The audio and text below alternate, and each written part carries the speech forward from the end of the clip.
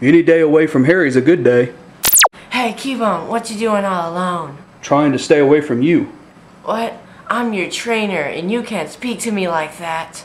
I can speak to you any way I want. Hey, Harry, you can't be speaking to your Pokemon like that. It's not right. He's the one that started all this junk. Nuh-uh, you did. Cubone, you've been a grouch all week, and I think you just need to take a nap. Who's gonna make me, Harry? You? Yeah, just watch this. Slinky kiss, link a kiss.